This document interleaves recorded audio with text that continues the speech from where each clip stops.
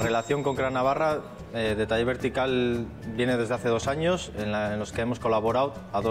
en dos aspectos. En la formación, porque algún socio y profesional de la empresa imparte clases en, la, en la escuela y además hemos recibido ya la participación en prácticas de algún alumno, lo cual ha sido una experiencia bastante grata